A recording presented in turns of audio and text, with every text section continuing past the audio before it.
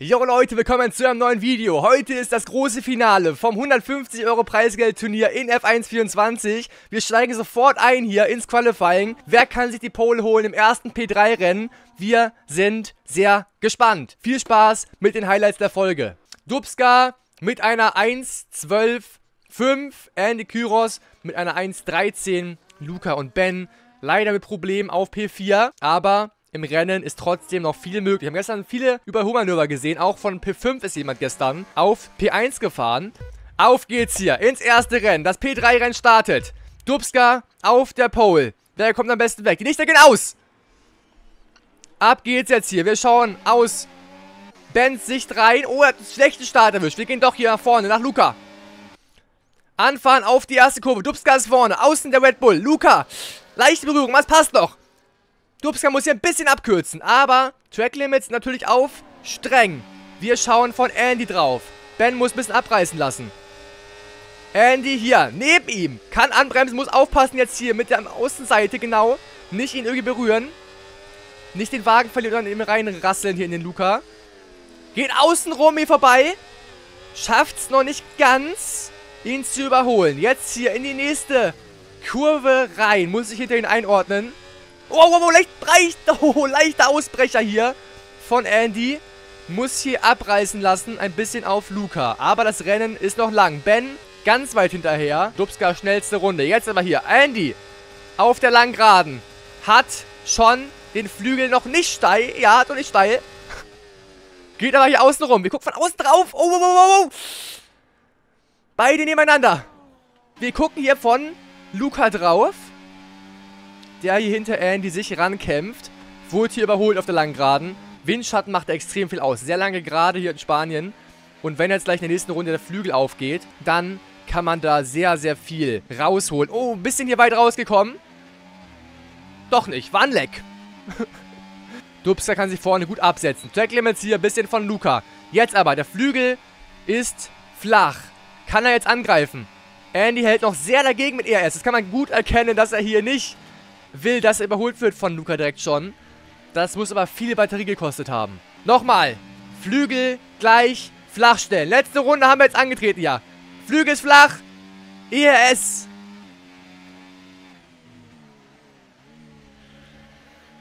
Ist schwer. Da nochmal ranzukommen jetzt hier. Die letzten paar Kurven. Kommt hier bis auf den Curb. Bisschen Rasen abbekommen. Andy nochmal ran an Luca nochmal ran an Andy, letzten Kurve. Nein, es sieht nicht danach aus. Keine Strafen auch. Dubska auf P1, Andy auf P2 und Luca auf P3. Somit haben wir hier die ersten Preisgelder und Preise verteilt. Glückwunsch an euch. Sehr geiles Rennen. Ähm, Dubska vorne souverän weggefahren. Hier ein Kampf zwischen Andy und Lukas ein bisschen. Aber es hat alles soweit clean funktioniert. Der arme Ben ist hinten ein bisschen hinterhergefahren. Ich weiß nicht, was da los war. Am Start sofort schon. Ein bisschen zurückgeblieben. Wir gehen rein ins zweite P3-Rennen. Dario, Yearboy, Dennis und Dortmund-Fan treten hier gegeneinander an. Wer kann sich die Pole sichern? Wir werden es in wenigen Sekunden wissen. So, letzte Kurve jetzt hier. Dario, wie es aussieht.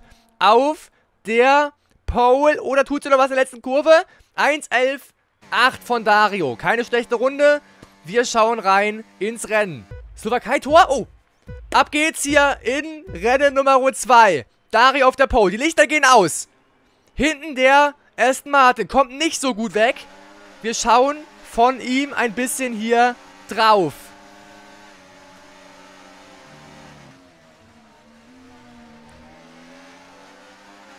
Dennis hat hier alles im Blick vorne. Gut weggekommen, die beiden vorne. Dario und Yearboy. Wir gucken ein bisschen aus Dennis Perspektive drauf. Wie sie sich hier vorne... Oh, kommt weit raus der Dennis hier. Und vorne kommt Yearboy jetzt hier ran an Dario.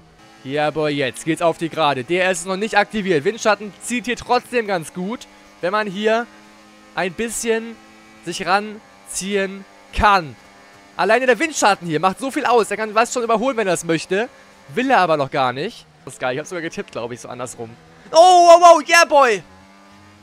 Auf dem Curb. Der Curb ist echt, äh, generell hier. Solche Curbs bei Highspeed-Kurven oder generell, wenn man auf den Curb kommt, ist man da gerne am Wegrutschen. Jetzt aber trotzdem, immer noch DRS. Dario muss jetzt hier trotzdem aufpassen. Yeah, Boy, zieht ran. Yeah, Boy, zieht ran. Nach außen, außen rum. Beide gehen parallel in die erste Kurve rein. Dario vorbei. Dennis auch wieder dran. Der kann hiervon dann ein bisschen Profit schlagen, dass sich beide hier vorne bekämpfen. Viel Zeit verloren, wenn sie hier parallel reingehen. Das wird jetzt nochmal ein Dreierkampf hier vorne. Kann er jetzt hier überholen schon? Will er überholen? Das ist die Frage. Und er geht außen rum, außen rum, versucht es, schafft es, nicht ganz Innenbahn jetzt natürlich erreicht. Dario außen, wieder innen, schafft es nicht, hier vorbeizuziehen. Immer wieder natürlich. Wenn man außen und innen ist, hat man ein paar Vorteile, aber dadurch, dass es so ausgeglichen ist von der Kurvenkonstellation hier, kann man immer wieder sich zurückkämpfen als voriger Fahrer. Wenn man von außen überholen wird, hat man am Ende dann die bessere Kurve, um sich hier zu verteidigen. Dennis auch wieder nah dran. Guckt dir das an hier ein bisschen, was da vorne so passiert. Und dann beginnt auch schon die letzte Runde im letzten P3-Rennen. Das kann jetzt nochmal was werden. Können sich hier nochmal ranziehen an Dario. Sechs Zehntel ist hier Yearboy weg. Wir sehen jetzt, was der Flügel und der Windschatten machen kann. Zieht hier ran. Geht er wieder nach innen. Er geht nach innen diesmal. Diesmal innen das Manöver. Dario ist jetzt hier auf der Außenbahn genau andersrum gemacht, das Overtake jetzt hier. War das taktisch smarter. Wir gucken von der Ego-Perspektive rein. Dario wieder sich verteidigen können, aber smarter gemacht von Yearboy. Dann innen mal reinzustechen. Nochmal ran jetzt pushen. An Dario. Kommt deine Windschatten ran. Zu kurze Gerade bis zur Start- und Ziellinie. Dario holt sich den Sieg. Yearboy auf 2 und Dennis auf P3. Sehr, sehr starkes Racing. Immer wieder hin und her. Hart, aber fair. Genauso wollen wir das sehen. Viel Platz gelassen, trotzdem nebeneinander in die ersten Kurven reingefahren. Die ersten drei Kurven immer wieder. Führungswechsel hier und da. Genauso wollen wir das sehen. Unfassbar stark gefahren an alle Fahrer hier auch im zweiten P3-Rennen. Wir sind angekommen beim ersten P2-Rennen. Drei Fahrer sind angetreten, ein Fahrer ist nicht gekommen. Deswegen haben hier alle drei Fahrer schon mal sicher ihren Preis in der Tasche. Nur die Frage, was bekommen sie jetzt? Der erste Platz kriegt 10 Euro, der zweite 5 Euro und der dritte einen kostenlosen Sub auf meinen Nacken. Wer holt sich hier das Preisgeld ab und wer landet auf P3?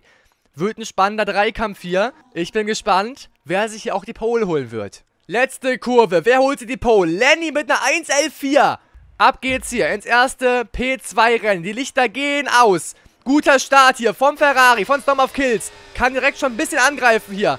In die erste Kurve rein. Wir schauen von außen drauf. Alle drei gehen parallel in die erste Kurve rein. Einer muss zurückziehen. Leichter Fehler von Speedy. Würde ich mal behaupten. Gucken wir uns nochmal später an, was da jetzt genau passiert ist.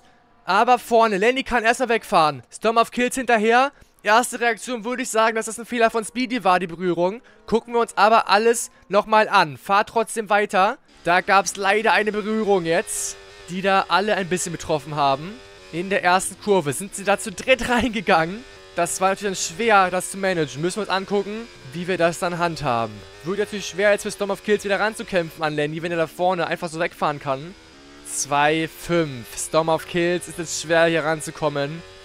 Das wird reinhauen. Fahrt trotzdem zu Ende. Strafen werden nach dem Rennen nochmal verteilt. Dann, wir gucken drüber über den Start und werden das uns anschauen. Ähm, also, fahrt so schnell es geht weiter. Vielleicht gibt es noch die eine oder andere Strafe, die ihr dann rausfahren oder halt eben nicht rausfahren könnt oder müsst. Deswegen pusht trotzdem, als wäre es jetzt hier Kopf an Kopf. Wenn es eine 2-Sekunden-Strafe geben sollte, gegen Lenny zum Beispiel, wäre das hier nochmal wichtig rauszukratzen. Aber wird schwer. Lenny auch jetzt nochmal ES rausballern. Wir gucken uns das alles nochmal an. George Russell hat gewonnen. Oh, Lenny dreht sich nochmal weg hier auf der Geraden. Sollte Lenny da eine 2-Sekunden-Strafe bekommen, war das jetzt quasi dann dein, dein Sieg wegschmiss. Verlangsamte Geschwindigkeit. Und gucken uns das hier in Ruhe an. Was hier in der ersten Kurve passiert ist. Machen wir gleich Kasa, kein Stress. Geht erstmal jetzt hier um den Vorfall in der ersten Kurve, was da passiert ist. Alle drei sind sie ja parallel in die erste Kurve reingegangen. Alleine das hätte schon nicht sein müssen, dass ihr hier in der ersten Kurve alle angreift, den Lenny. Dann natürlich hier Lenny auf der Ideallinie. Hier muss natürlich Storm of Kills zurückziehen. Aber auf der Innenseite hier Speedy. Er fährt hier außen Ideallinie Lenny. Na, aber er ist ja auf dem Curb halt, ne? Er, also, er kann doch nicht weiter weg, theoretisch, steht der Speedy. Der kann da auch nicht weiter rechts fahren. Ist halt die Frage, ob es sein musste, dass er hier schon ganz innen dann reinfährt, ne? Kann auch weiter rüber, klar, dann ist er auf dem Curb drauf, ne? Wir gucken nochmal ein bisschen zurück. Hier ist halt Lenny echt bisschen vor Storm of Kills, weil der sich zurückzieht. Speedy zieht hier vorne ran.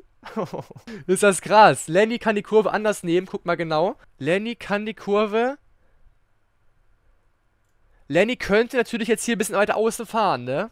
Er macht auch hier jetzt natürlich die Kurve nach innen zu.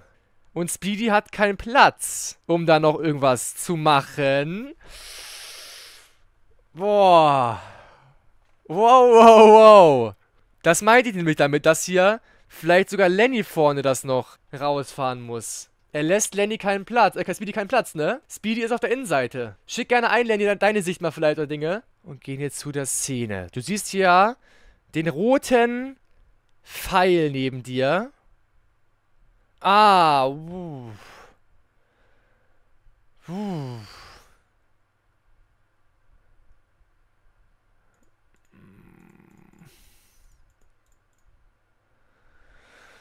Boah, klar, du sollst auch jetzt nicht hier um Welten außen rumfahren, ne? Oh. ist, das eine, ist das eine Situation hier. Er ist ganz außen, zieht aber dann natürlich hier rein. Man sieht, dass er hier ganz rot neben ihm ist. Bei der Kurve. Er macht hier nochmal die Bewegung, ne? Er macht hier nochmal die Rechtsbewegung. Hier macht er kurz auf. Hätte er hier aufgelassen ein bisschen. Hätte er den Platz gelassen, aber hier lenkt er nochmal rechts ein. Und dann kommt es zur Berührung. Da hat rechts keiner Platz. Diese Einlenkbewegung war's im Endeffekt. Der war halt auf der Innenseite. Du siehst ja hier, dass er hier ist rechts mit dem Pfeil. Dafür ist er ja da zum Glück. Da hättest du dann hier so ein bisschen lupfen hätten müssen. Hättest ein bisschen lupfen müssen, klar. Und einfach ein bisschen... Oh. Unfassbar. Warum macht ihr denn sowas in der ersten Kurve, Mann? Spinnt ihr? Allein so eine Situation. Dann entscheidet ihr. Dann entscheidet ihr, wer hier eine Strafe bekommt oder ob es eine, ein Rennunfall war. So. Umfrage ist jetzt am Start. Was meint ihr, die hier Rennerfahrung alle haben? War das zu viel von Speedy auf der Innenseite da reinzugehen? eben am Curb zu bleiben, erst nicht rausgedrängt wurde irgendwas. War das so wie von Lenny, dass er da zugemacht hat, die erste Kurve so, als erster Platz?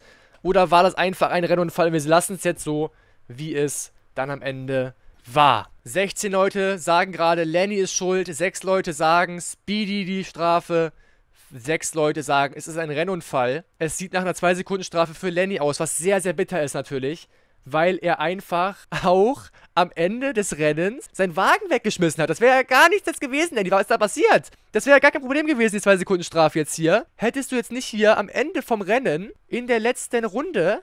Guck mal, hier sind die 2 Sekunden. Hier sind die 2 Sekunden easy drin. Er wäre P1 geblieben. Trotz dieser verhängenden Strafe jetzt hier. Dann aber in der letzten Kurve kommt es dann hier auf Start und Ziel zu einem Dreher. Ich weiß nicht, warum der Dreher da kam. Hier ist er noch zwei Sekunden easy drin und dann auf einmal da vorne fährt er zickzack, dreht sich über die Ziellinie und Storm of Kills ist 1-7 dran.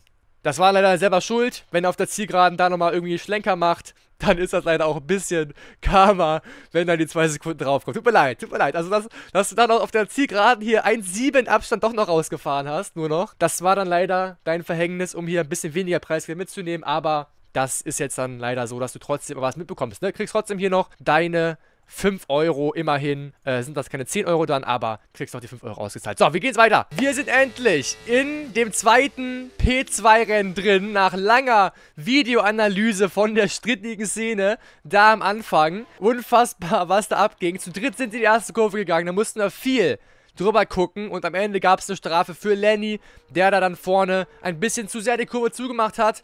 Wir haben jetzt zusammen entschieden als Stream, Da haben alle abgestimmt, was da die richtige Entscheidung ist. Eine richtige Entscheidung gibt es nicht in dem Moment. Ähm, deswegen, äh, alle werden immer wieder sagen, ey, der ist doch eindeutig schuld, der ist eindeutig schuld oder Rennunfall. Deswegen, alle, alles recht zu machen geht eh nicht. Deswegen haben wir jetzt hier die Mehrheit entscheiden lassen und somit ist das Ding auch durch.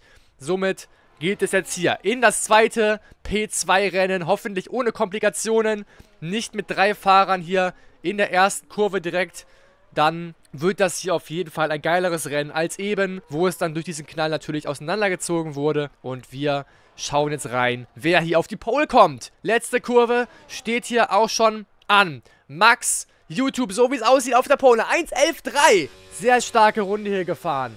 Genauso muss das sein. Auf geht's, die Lichter gehen aus im zweiten P2-Rennen. Vorne Max auf der Pole, Phil neben ihm. Wir gucken auf den Start. Wir gehen aus Jonis Perspektive hier mal drauf. Gucken uns das an und gehen dann jetzt wieder auf die Außenperspektive gleich drauf. Erstmal von hier drin nochmal gucken. Sieht man manchmal ein bisschen mehr die ganzen Aktionen. Und jetzt hier vorne wird es enger zwischen Max und Phil. Phil hat die Führung übernommen im Ferrari. Kann Max hier nochmal angreifen jetzt hier in dieser Kurve. Wir schauen innen rauf. Max lässt hier genug Platz. Wird hier von Phil ein bisschen bedrängt. Alles noch in Ordnung. Genug Platz lassen, Leute. Denkt dran. Nicht hier irgendwie von der Strecke drängen.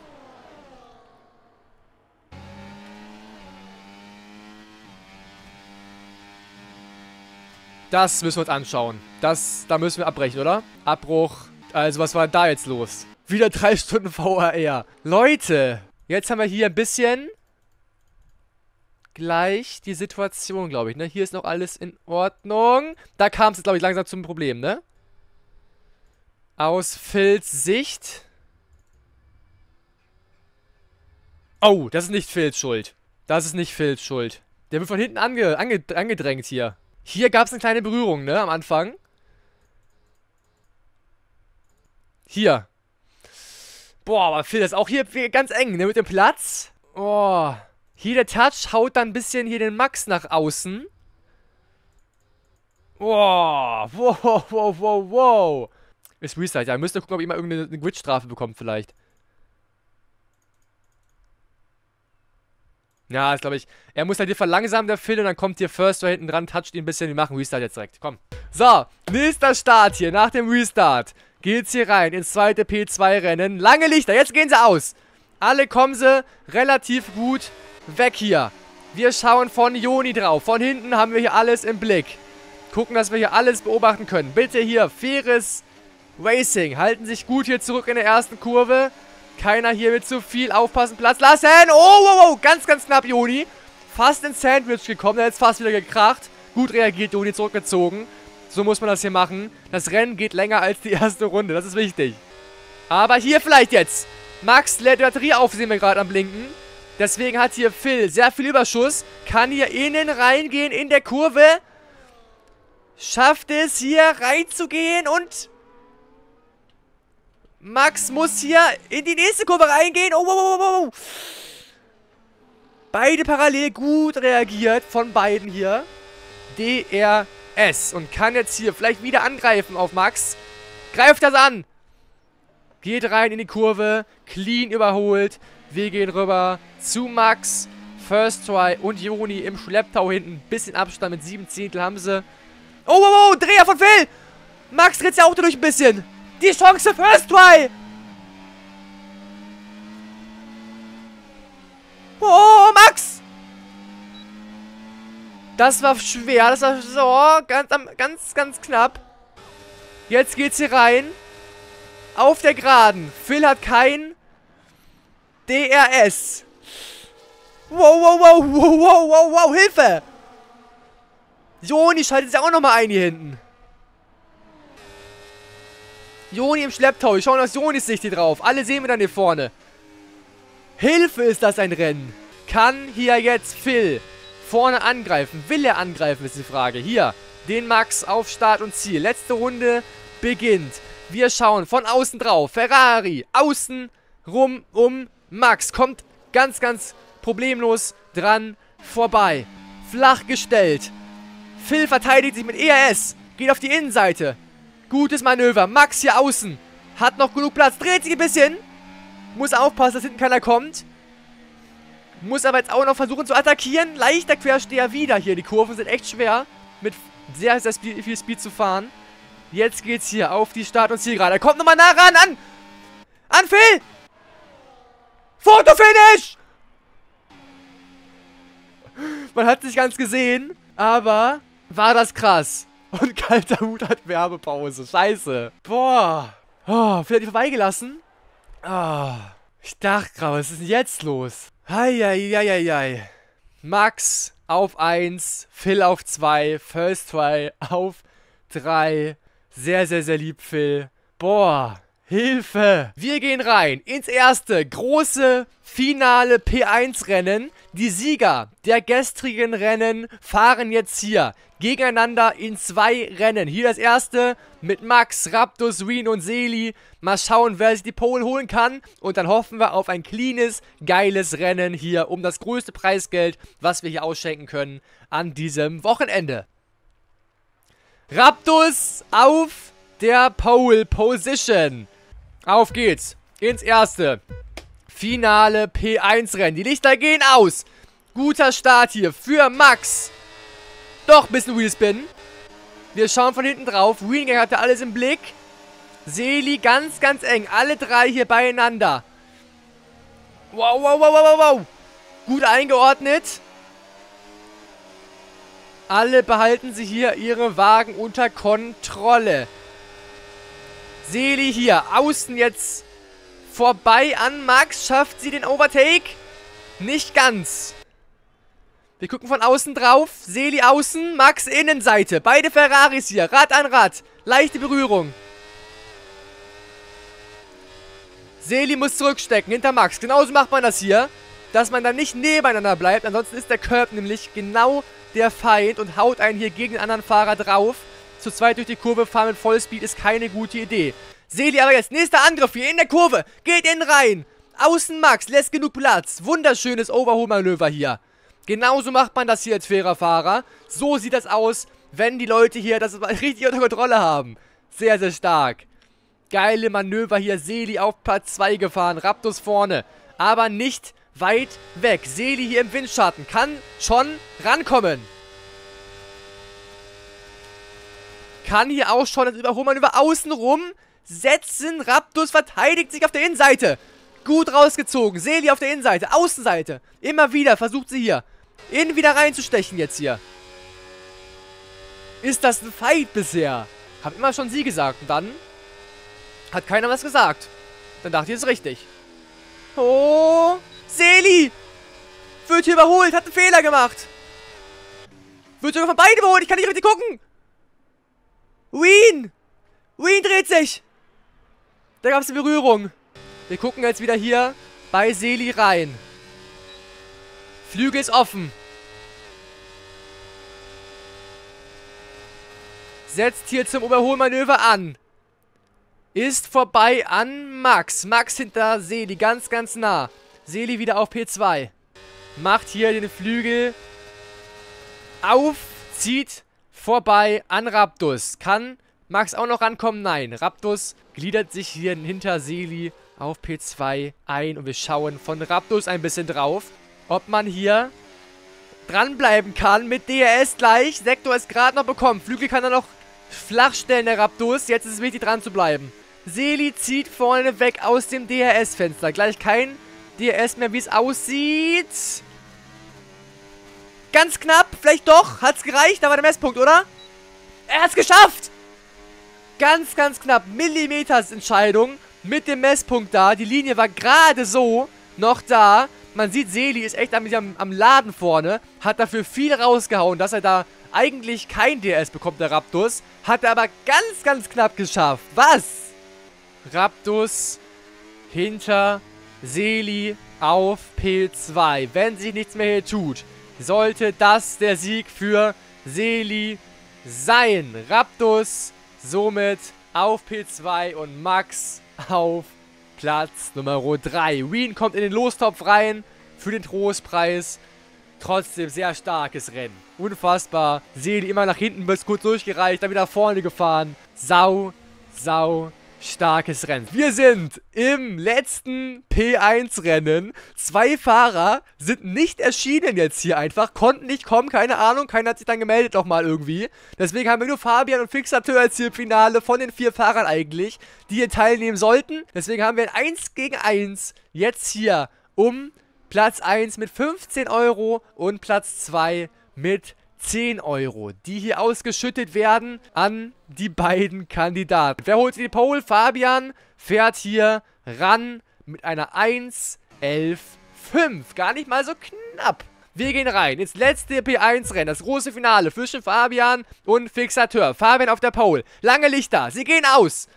Guter Start von Fixateur hier. Kann hier fast schon angreifen in die erste Kurve rein.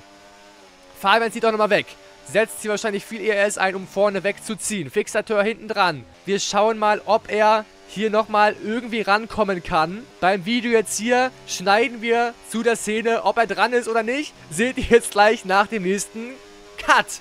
Fixateur ist hier auf 6, 7 Zehntel dran. Es wird nochmal spannend. Wir gucken jetzt hier. Er ist im DRS-Fenster theoretisch drin, wenn er hier die nächsten Kurven gut hinbekommt. Und kann vielleicht gleich nochmal angreifen hier. Den Fabian. Fabian, leichter Quickstreher hier. Ganz, ganz nah dran jetzt hier, Fixateur. Am Heck von Fabian. Jetzt ist der Flügel steil. Kann er hier überholen. Fixateur zieht innen außen vorbei. Schafft's nicht, schafft's noch nicht. Beide parallel. Innen jetzt Fixateur. Ist vorbei an Fabian. Oh, leichte Berührung. Alles noch in Ordnung. Fabian Beide Rad an Rad hier gehen in die erste Kurve nochmal rein. Vorletzte Runde steht an. Hohoho. Wir sehen natürlich die DRS, äh, ERS-Stände hier, ne, Batterie. Bei beiden. Fabian ganz nah an Fixateur dran.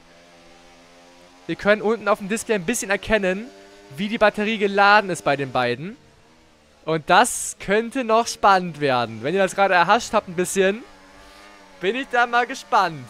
Die letzte Runde hier im großen Finale. Das 1 gegen 1 zwischen Fabian und Fixateur. Fabian greift an, zieht vorbei auf der langen Geraden. Der Flügel ist auf, ERS wird rausgeballert.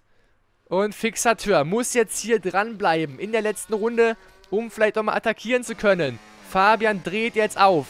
Sieben Zehntel weg. Acht Zehntel jetzt nochmal. Alles geben, Fixateur. Alles raus von der Batterie. Du kannst hier nichts verlieren, auch wenn du dich drehen solltest. Dann bist du trotzdem auf P2. Hier, ranfahren an Fabian. Alles nochmal in den letzten Kurven hier raushauen, was ihr gespart habt an ERS.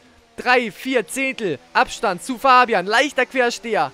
Kostet ihm hier wieder ein bisschen Zeit auf Fabian vorne auf P1. Letzte Kurve, nochmal alles raushauen.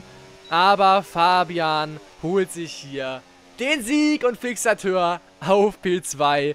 Also 15 Euro an Fabian und 10 Euro an Fixateur auf P2. Ich verabschiede mich hier aus diesem Video. Lasst ein Abo und Like dafür. Auch die ganzen VAR-Aktionen hier, den Rennabbruch und so weiter. Viel Chaos, aber auch unterhaltsam natürlich hier, um ein bisschen Spannung reinzubringen. Trotzdem hoffe ich natürlich, dass wir nächstes Mal beim nächsten Turnier, wo ihr dabei sein könnt, immer gerne dabei sein hier auf Twitch. Wir fahren viele Formel 1, auch bald Turniere wieder in Formel 1. Also gerne vorbeischauen im Stream auf Twitch. Ansonsten lasst gerne Abo und Like, dann bis zum nächsten Mal. Schreibt die mal in die Kommentare zu den ganzen Vorfällen. Wir hören uns dann und tschüss.